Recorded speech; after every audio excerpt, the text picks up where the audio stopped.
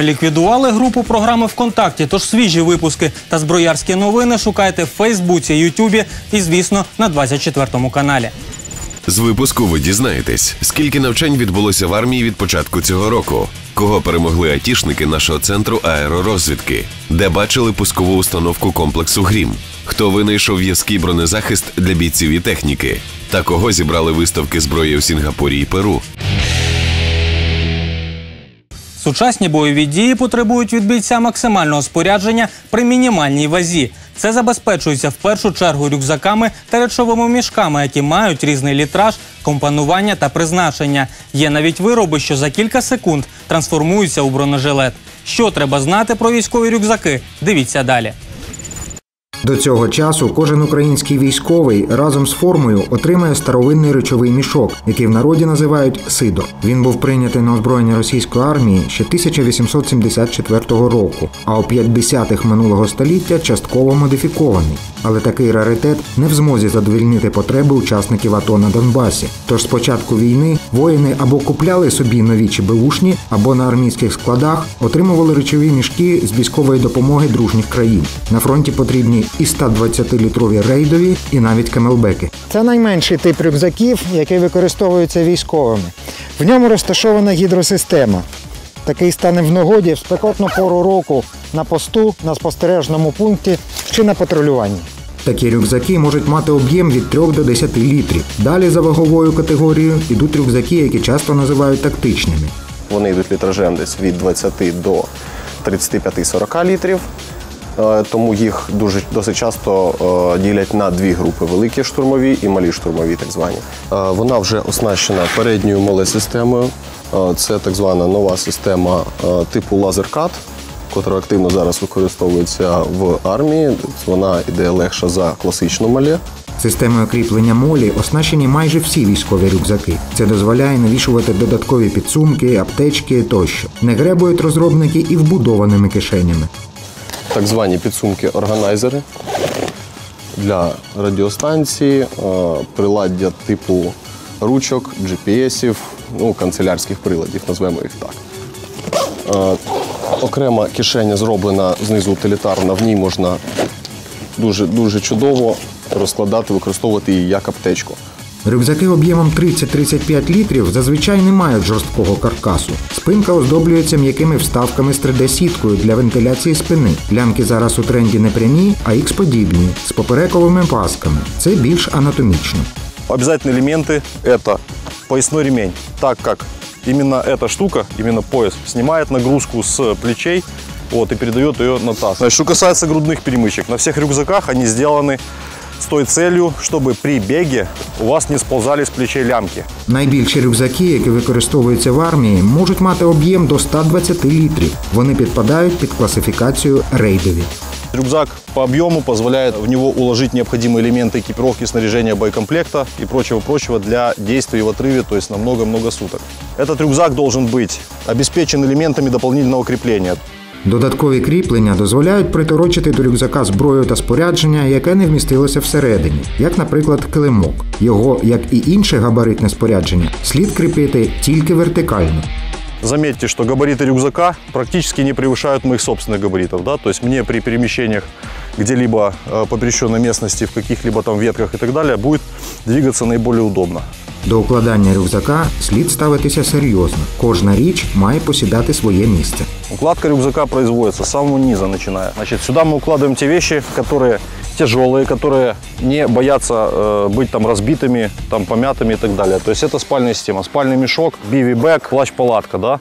Ближе к спине всегда необходимо укладывать что-то мягкое. Здесь у нас опять же остается клапан свободный, да, для каких-либо мелочей.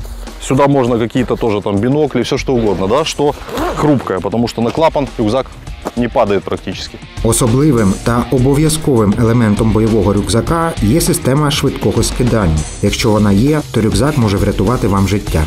Мы свой сектор открываем огонь вот, и размыкаем всего две пряжки. При этом рюкзак перед собой размещается в качестве бруствера, да, то есть он имеет превентивную защиту от пуль. То снаряжение, которое в нем находится, может в какой-то мере защитить. Останні десятиліття світові виробники ведуть боротьбу за кожний зайвий грам ваги виробу. Тож тканину рюкзаків замінюють більш легкою, а металеву фурнітуру пластику. Цього принципу вже три роки дотримуються армійські розробники спорядження, і їх роботи бійці поступово починають отримувати. Згідно з наказом міністра оборони України номер 232 визначено загальну технічну норму, де в бойовому єдиному комплекті передбачено два типи спорядження для переноски майна. Перший це рюкзак бойовий індивідуальний до 35 літрів, другий сумка транспортна бойова індивідуальна до 100 літрів. Бойові рюкзаки українського виробництва ми бачили на параді. Попри всю брехню, їх не забрали у військових. Журналісти техніки війни бачили їх в АТО. А найближчим часом Міністерство оборони України планує придбати по 30 тисяч рюкзаків штурмових та стільки ж великих сумок на 100 літрів. В тендері беруть участь три виробника, і закупівля відбудеться вже цьогоріч. Тобто сучасну наплічну снарягу мають отримати всі, хто збирається їхати на Донбас у складі ротацій. До 2020 року кількість оперативного резерву першої черги має зрости до 130 тисяч осіб. Це люди, які підписали контракт зі збройними силами України та проходять службу у резерві. На сьогоднішній день ця цифра складає 100 тисяч. Так починаємо інформаційний блок за тиждень.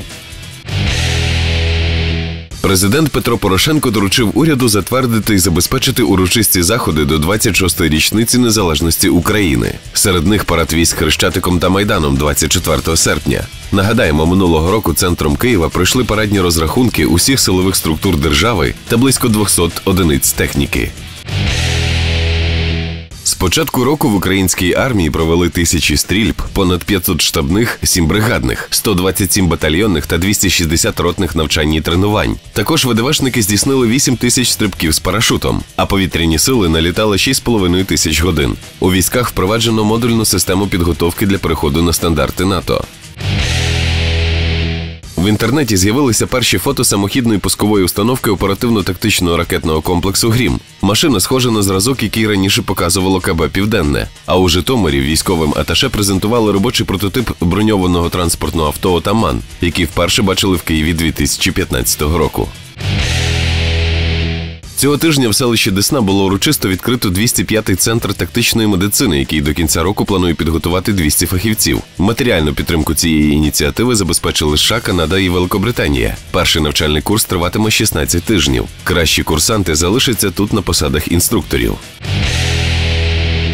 Сполучені Штати Америки придбали бригадний комплекс імітаційної системи Майлз для міжнародного центру миротворчості та безпеки. Коштувало обладнання, що дозволяє створювати умови реальних баталій без бойових боєприпасів 22 мільйони доларів. Також в рамках допомоги буде збудовано корпус відділення імітаційного моделювання.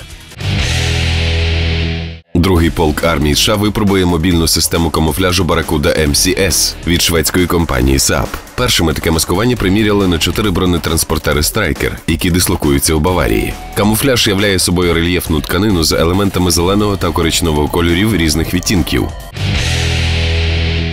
Кадет ВПС США Хейлі Вейр створила працюючий прототип рідкого бронежилету. З 2014 року дівчина працювала над реалізацією ідеї, експериментувала над речовинами та створила захисну плиту з в'язкої рідини з кевлару і вуглеволокна. Виріб буде ще вдосконалюватись для застосування не лише в екіпіруванні, а й на техніці і укриттях. Армійська модифікація відомого дробовика Бенелі М4 12 калібру надійде у цивільний продаж. Лімітована версія за 2199 доларів матиме комплектацію, як у морпіхів США. А Кольт після банкрутства та реструктуризації повертається на ринок із перевипуском своєї відомої моделі Кобра для прихованого носіння. Вартість револьвера 699 баксів. Середу близько 10 ранку у польському містечку Монколне відбувся вибух на заводі з виробництва пороху. Під завалами опинилося двоє працівників, один з яких загинув. Також 15 співробітників отримали поранення. В результаті вибуху виробничий цех повністю завалився.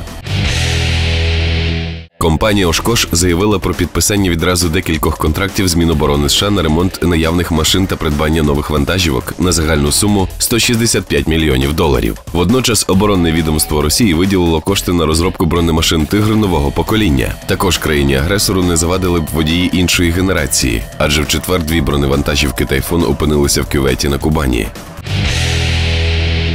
Компанія BAE Systems офіційно презентувала перший винищувач тайфун для ВПС Оману. Пакистан підписав контракт на постачання Туреччині 52 учбово-тренувальних літаків Супермушак. А китайська авіабудівна корпорація успішно випробувала легкий бойовий вертоліт за 19 е масою 4 тонни на прізвисько Чорний торнадо.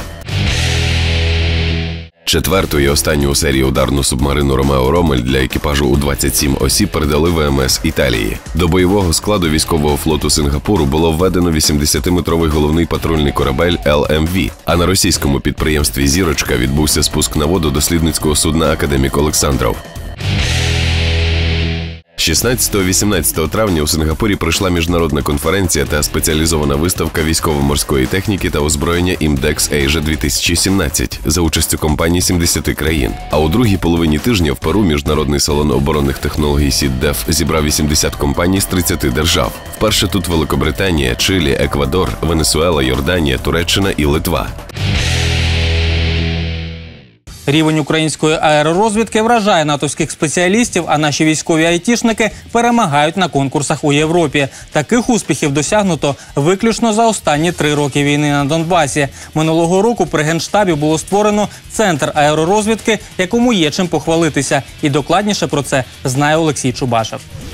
У 2014-му Збройні сили України виявилися не готовими до гібридної війни. Особливо гостро на сході відчувалася фактично повна відсутність у війську засобів електронної аеророзвідки. Саме безпілотниками Натан з товаришами і почали займатися тоді. Ми почали з, з того, що приїхали на, на схід в, квітні 2014 року. Після теракту до 9 травня ми вийшли з лав е, МВС. Робили волонтерський добровільчий підрозділ, що з травня 2015 року вже війшов до лав Збройних сил. Почалося все з кількох взводів аеророзвідки у складі декількох окремих розвідбатів. Та вже з квітня 2016 року у складі генштабу сформовано окрему військову частину, що сьогодні спеціалізується не лише на безпілотниках. З, з одного боку, ми е, е, працюємо в комунікаціях, з іншого е, з обробкою е, розвідданих та інше. Вздовж лінії розмежування стаціонарно встановлені камери, засоби електронної розвідки, працюють екіпажі безпілотних авіаційних комплексів, а також беруться супутникові знімки. І це лише ті джерела інформації, про які нашій програмі дозволили говорити в сюжеті. Майже всі вони розроблені і збираються тут, в центрі аеророзвідки, як, наприклад, і цей коптер. Механіка вона купляється, карбон, алюміній. Ми виробляємо самі. Купляємо тільки там мотори, пропи, антенни, там пікс там і модеми. Все інше там ми робимо самі. Один дрон з урахуванням кріплень це майже 400 деталей і близько 5 робочих днів. Такий виріб подужує до 4 кг корисного навантаження і може залетіти на відстань до 8 км і назад. Використовується для ведення розвідки, коригування вогню або як ретранслятор для забезпечення зв'язку. Глибинна розвідка прерогатива так званих крил, які особливо цікавлять іноземних спеціалістів. Велика зацікавленість до, до українських безпілотників є завдяки тому, що вони були використовані безпосередньо в е, військових умовах, в умовах е, електронного по- по- подавлення та інше. Аби все це літало, знімало і транслювало картинку, необхідне програмне забезпечення. Його в центрі аеророзвідки генштабу розробляють самотужки. До речі, місцеві айтішники цього року вперше представляли Україну на щорічних натовських змаганнях розробників Хакатон. Хакатон мав три напрямки: Coding Challenge, Modeling Challenge і Joint Challenge. Від України у нас було дві команди, які приймали участь в Coding і Joint Challenge. І основною тематикою для Coding Challenge в цьому році було аналіз Big Data. І з нашого боку був застосований новітній підхід. Ми використовували всі саме нові технології і вдалося здобути перемогу. Команда, що брала участь в напрямку Joint Challenge, мала запропонувати рішення з використанням смарт-гаджетів у військовій сфері. Є така технологія Bluetooth Low Energy. Наші хлопці показали варіант її застосування, коли один з військовослужбовців підходить до КПП, там стоїть вже сенсор, який розуміє, хто підходить до нього, і за допомогою біометричних даних цей військовослужбовець проводить авторизацію. Йому потрібно називати цифри від 1 до 10. Програмна частина аналізує його голос, аналізує відеопотік, розпізнає його обличчя і потім авторизує або не авторизує дану персону. У цій номінації українські військові айтішники також здобули перемогу. Однак хлопці зізнаються, що головною метою поїздки було інше. поспілкуватися з фахівцями по інтероперабельності систем, тому що зараз ми займаємося безпосередньо розробкою системи, метою якої буде забезпечення situation awareness, ситуаційної обізнаності і можливістю е, ділитися КОП Common Operation Picture з НАТО і е, навпаки отримувати ситуацію з боку НАТО в нас в системі.